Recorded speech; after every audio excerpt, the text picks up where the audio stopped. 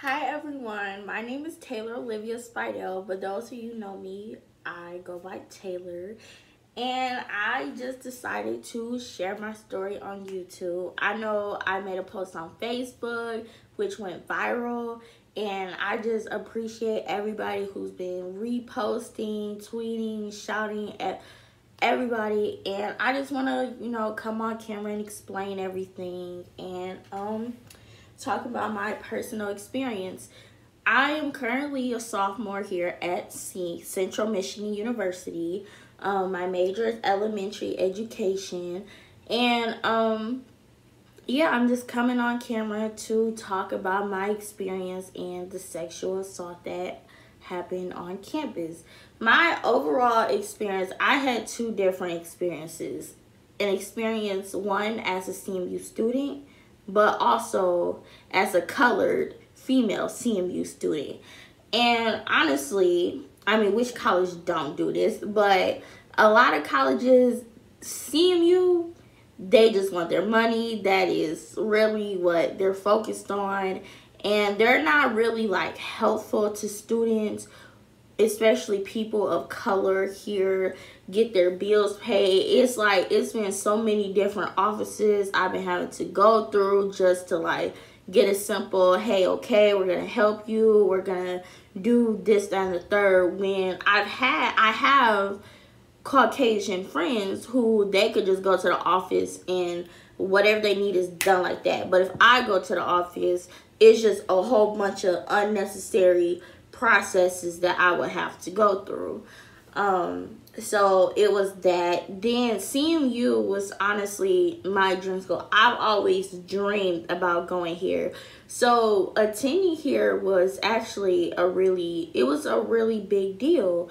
And um, is I'm sad that I'm leaving. I'm sad on the reason why I'm leaving, but due to lack of action, because of the sexual assault report that I made, it now makes me feel I do not I do not want to be on a campus where if I tell the campus police that I was sexually assaulted by a student on campus, they won't do anything.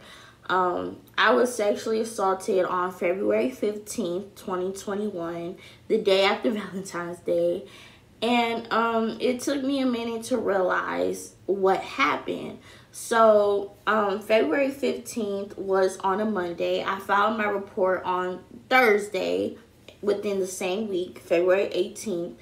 And um, I ended up going to the hospital. I made a report. I went to the hospital. I was in the hospital for three and a half hours getting an exam. I had to take a whole bunch of STD prevention pills. I got a shot on my butt. I had to keep retelling the story on what happened over and over and over again. Then on the same day, I had to go back to the police station and write a statement. It was a lot. I also had, I cannot remember um, the name of the tool, but it's a tool that goes into your vagina and it expands so the lady could look and see if there was anything wrong down there. It was it was a lot. It was a lot that I had to go through. Then the following Friday, um, the next day after I went through all of that, they asked for my phone and I voluntarily gave it up because for evidence. Because it's like I have nothing to hide. I'm not lying about anything. This is way too much to go through to be lying. So fast forward to that Saturday, I said, you know, I don't really, I don't really like the way this is going because nobody was really doing anything. So I was like, okay, I just won't press charges because nobody's doing anything. This, this is just too much to go through and nobody's gonna do anything. So that Monday, I get a call from the detective on the case and um, he asked me, despite me saying I'm not pressing charges anymore, he asked me to come in for questioning. And I was like, you know, okay, I don't mind coming in because, like I said, I have nothing to hide. But remind you, they did not question the student who assaulted me. They want to question me, the victim, which is crazy, especially after I said I don't want to press charges. So I go in, and long story short, he basically victim blamed me, called me a liar, used air quotations around sexual assault. So I decided to leave. And then instead of so I'm like, okay, well, if CMUPD don't believe me, I'll go elsewhere. We have this um we have another sexual assault program here. It's called OCRIE. So I talked to a lady at OCRIE and she was actually a really nice, sweet lady. But is she told me in order in because CMUPD failed to do their job, I was trying to get the person who assaulted me in jail, locked up. But since they failed to do their job, I'm like, okay, so can I get him kicked off campus? And that is why I reached out to OCRIE. And um, the lady, she was a really nice lady. She she was really nice and she was really sweet. But she told me that I would have to go through another process. And I personally feel like you know, since uh, being in the hospital for three and a half hours, having to retell that story over and over and over again to multiple different people just to be victim blamed and be called a liar, I'm not I'm not I'm not going through any more processes, especially for nothing to be done.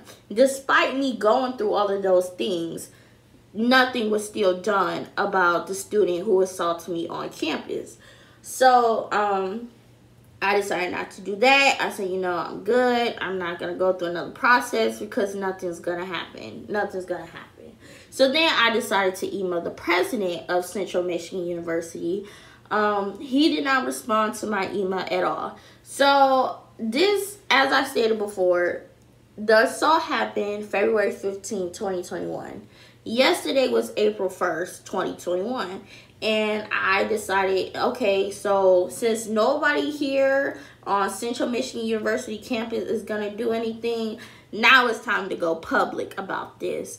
So um, I decided, because the other thing is, um, a lot of women had came forward and were filing their own sexual assault and sexual harassment reports that happened on Central Michigan University campus and still yet nothing has been done. So I'm just like, okay, so at this point, it's now time to go public about this since nothing's going to be done.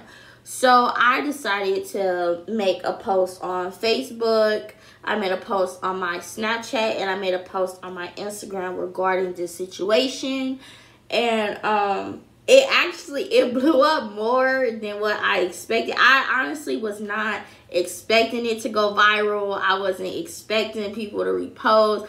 I'm very happy that people are reposting and sharing because this is not okay. It's too many people who women in particular who've been shut up about their situation, who's been victim blamed and who's been called a liar regarding their sexual assault when they're not lying. And it's a shame that it's so many people out here who've been sexually assaulted, both men and women, who never came forward about their situation because they have the fear of being victim blamed and being called a liar. So, um, I decided I decided to go forward about everything and go public about the public route.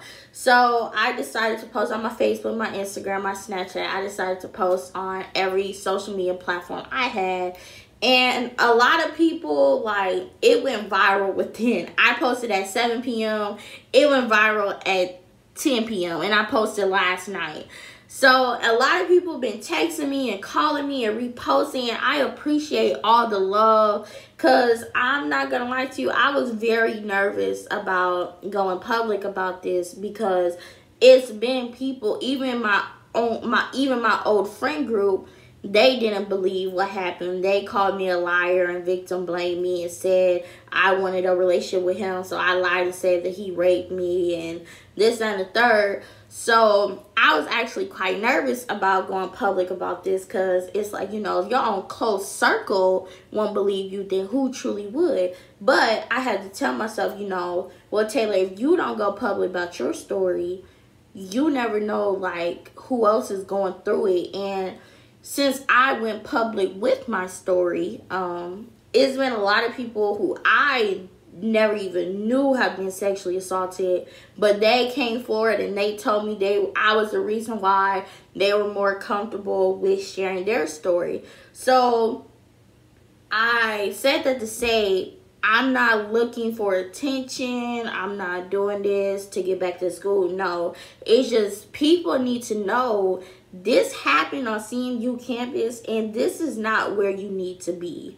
This is not where you need to be at all, especially you're a female, but a, a female of color especially, because they do not do anything. I went to three different departments on CMU's campus, and nobody, they didn't kick him off campus. They didn't get him locked up. They didn't do anything. And since people have been reposting and sharing my posts, the school the president did reach out to me and it's like i personally feel like i'm not talking to anybody about this because i kept this on the low for about two and a half months and did nobody do anything about it. So now that i went viral and now that i shared my story now y'all want to reach out to me? No it's too it is too late for that. It's too late for that. So yes, I just want to say I appreciate everybody who's been reaching out to me. I I am willing to talk to any everybody who have any questions. And yeah, I just want to publicly come and share my story and talk about it and I just want to publicly say I love and appreciate everybody who's been really here and supportive because it's been really hard lately. So I love and appreciate everybody and please feel free to text me.